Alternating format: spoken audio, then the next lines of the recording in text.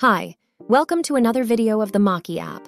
Last time, we have shown you how to use Mocky and draw diagrams for Confluence. In this video, we will compare Mocky and Gliffy to see which you should choose to draw diagrams on this platform. But first, we will talk a little bit about each of these diagramming tools. Mocky is a very, very powerful tool to help you visualize your ideas and create stunning diagrams or sophisticated organizational structures. And that's not all. The app also supports drawing wireframes, mockups, mind maps, customized charts, and graphs. Pretty much anything you want to draw for Confluence.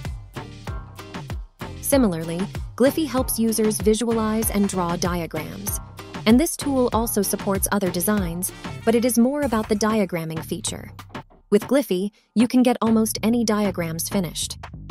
Now, when the two apps are put on the table, let's see how one compares to the other. We'll be comparing how to install and access these apps, in-app interfaces, the ease of use between Mocky and Gliffy, the diagramming feature, which is the main part of this video, and finally, how you can manage your diagrams on Confluence. First, let's see how to install and access Mocky and Gliffy. The installation process is similar. You can get the apps while on your Confluence. Navigate apps, then choose Find New Apps. Now, just type in the app name and you will be able to install it.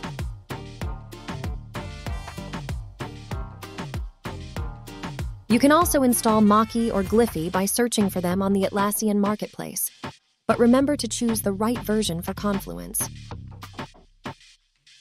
About accessing these apps, it is easier for Mocky. You can simply locate apps on the header and choose the Mocky app. Meanwhile, it's a bit tricky for Gliffy. By following its tutorial, you will have to start editing your Confluence page and type Gliffy. Next, we should take a look at their interfaces. Once inside the Mocky app, you will see a canvas in the middle. This is your workspace for drawing diagrams. You will see a left sidebar menu on the screen to access all the Mocky's elements and components.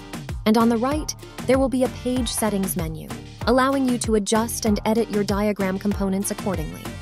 As for Gliffy, its interface is relatively straightforward. It is quite similar to Mocky's. The only difference is that most settings are on Gliffy's header menu. Moving on to the ease of use. Mocky offers a much more detailed menu with a wide range of element collections at your fingertips, including shapes, icons, and more. So, Confluence users can create and visualize some of the most impressive diagrams, wireframes, and mockups possible. Meanwhile, Gliffy provides lots of elements, but with a more minimal interface, allowing drawing diagrams quickly and easily. Now, the main part of this video, let's compare the diagramming abilities between Mocky and Gliffy. Users can create a new diagram from a single component with Gliffy. They can locate the diagram components on the left sidebar menu and choose the one they need. Simply drag and drop these components into the canvas, draw connectors, and edit them to suit your needs accordingly. You can also edit the shape, borderline, and color of lines and components. You can do the same with Mocky. To draw diagrams, simply drag and drop a component to the canvas. You can edit its color, borderline, and many more. Mocky also suggests you the next component to add to your diagram on the fly. And don't forget that you can change the styles of the line connectors, including their shape, arrowhead, and tail. Not only that, the Mocky app supports enriched collections of elements at your service. You can use these elements to make a customizable charts mind map or diagram. Or use avatar elements to visualize your sophisticated organizational structures in a more understandable way. Finally, let's see how you can manage your diagram designs on Confluence. Mocky empowers users to manage diagrams in three separate ways, including grid, map, and workflow. Therefore, you can expect to track and manage the designs process more effectively. On the other hand, Gliffy doesn't support any means to manage your diagrams at the moment. And that's all we want to share about Mocky versus Gliffy. So, what is your decision? Let us help you wrap things up. If you want something that has lots of elements to use and a way to manage your diagrams on Confluence with various customization abilities, you should go for the Mocky app.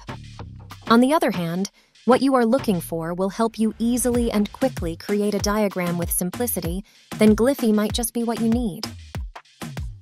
The decision is yours, and remember to think in the long run. It is recommended to go for a tool that satisfies all your wireframing, mock-up, and diagramming needs, like Mocky. We hope that by watching this video, you can choose the right diagramming tool for your product and projects. If you like this comparison video, please give it a like and subscribe to the channel. And consider turning on the bell notification icon so you won't miss any of our new upcoming videos. Thank you for watching.